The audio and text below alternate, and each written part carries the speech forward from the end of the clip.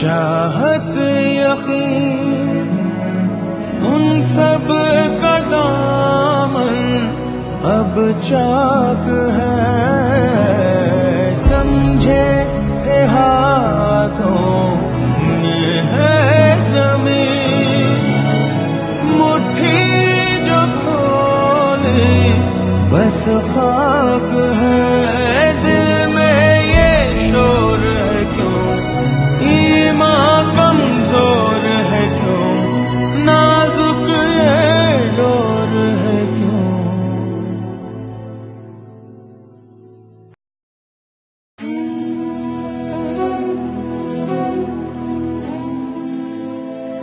પ્રદીપ આજ તારો જન્મદિવસ છે ને બેટા. માતાજી સુખી કરે, તને બળ, બુદ્ધિ બોરી આવડતા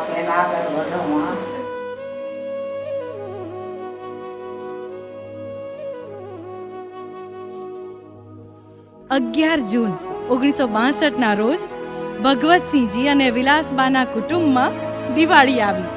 પુત્ર રત્નનો જન્મ થયો. હરખની હેલી વચ્ચે ફૈબાએ નામ આપ્યું પ્રદીપ.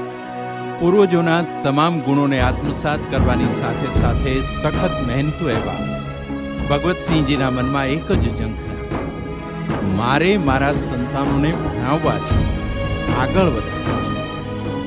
મામાને ત્યાંથી પહેલો પડાવ ભાવનગર કામ મળ્યું મિલમાં પરંતુ એ મિલ બંધ થઈ એટલે વાટ પકડી અમદાવાદ.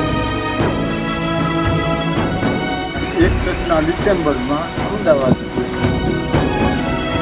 એ નવરંગપુરા રહેતો હતો. પણ ત્યાંથી અમારા એક સંબંધી રહેતા અહીં બાપુનગરમાં.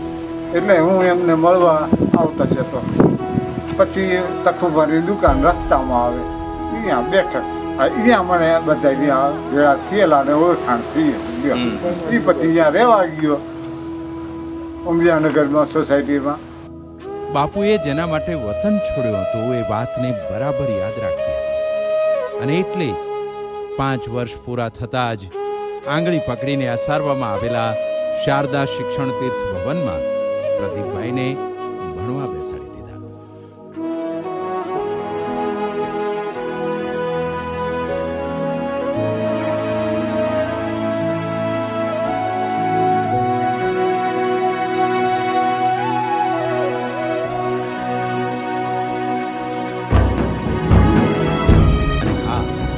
વેકેશનમાં વતન બહાદુરગઢ જવાનું.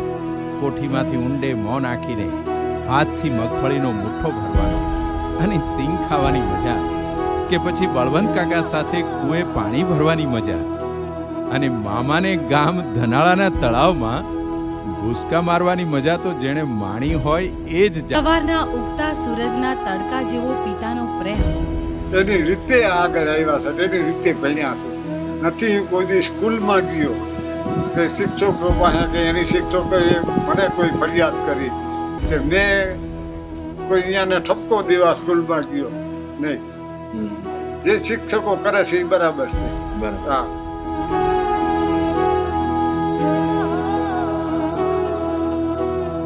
તનમનના બધા જ તાપ હરી લેતી ચંદ્રની શીતળ ચાંદની જેવું બાનું હેત. આવો નાનો હતો.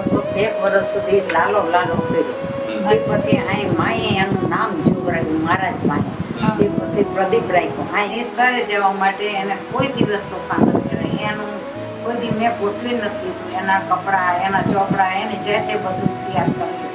ટાઈમ નથી જોઈતો અને મને ભગવાન બધું જ દીધું છે. આ જમાનામાં દીકરા બહુ જ ન હોય. છોકરા નહીં. મારા પોતરા બધી શાંતિ છે. શાળામાં ભણવાની સાથે સરખે સરખા મિત્રોની દોસ્તી. અસારવા વિદ્યાલયમાં હાઈસ્કૂલના અભ્યાસ દરમિયાન તો જીવનભરની મૂડી જેવા મિત્રો મળી ગયા.